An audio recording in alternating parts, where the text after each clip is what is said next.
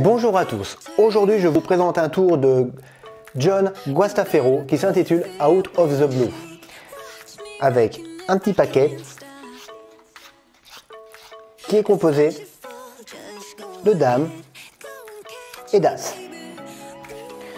Alors, c'est très simple, c'est très facile à suivre. Les dames, je vais les mettre pour le moment de côté, comme ceci. Et à l'aide des as, je vais vous montrer qu'ils ont un pouvoir très très magique. Alors, de, quoi, de, quel, de quel pouvoir s'agit-il? C'est très simple. Les as, au frottement du tapis, peuvent changer de couleur. Regardez, le premier vient de changer de couleur. Mais pas uniquement avec le frottement du tapis. On peut aussi claquer dans les doigts pour qu'aussitôt le deuxième devienne bleu. Pour le troisième, on peut très bien twister. Et le troisième passe.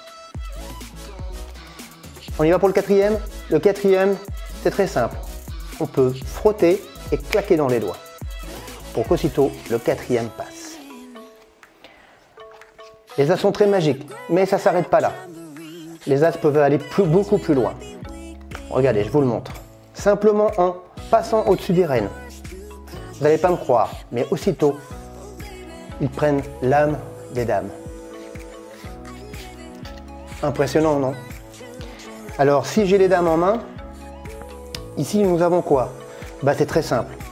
Nous avons forcément les, As.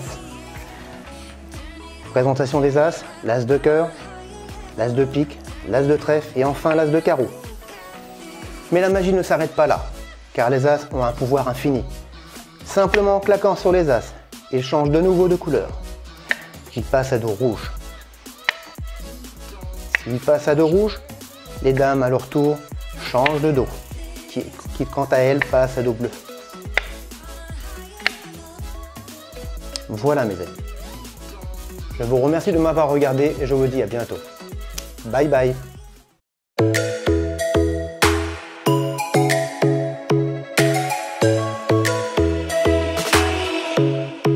Strikes by my window. It's my chest